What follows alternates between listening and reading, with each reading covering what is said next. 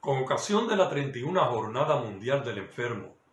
a celebrarse el próximo 11 del presente mes de febrero,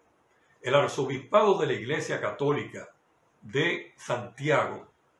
consideró como una fábula, como una quimera, la seguridad social de la República Dominicana, porque entiende que para los más pobres enfermarse implica la muerte, toda vez que no pueden adquirir los medicamentos o acceder a los servicios médicos en los centros de salud.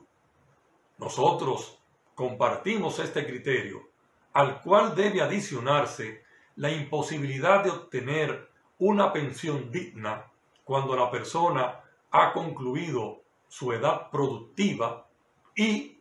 la coloca lamentablemente en un estado de necesidad. Son estos motivos los que nos hace pensar que la seguridad social del país ha fracasado y las autoridades competentes deben de tomar todas las medidas que sean necesarias para que enfermarse o llegar a la tercera edad no implique necesariamente la muerte. En este sentido, para solo referirnos a un aspecto de este extraordinario problema,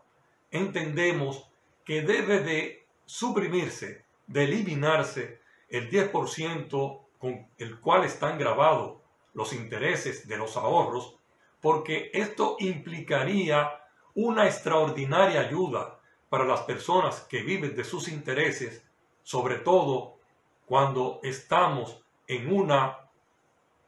ausencia total de una seguridad social que los proteja.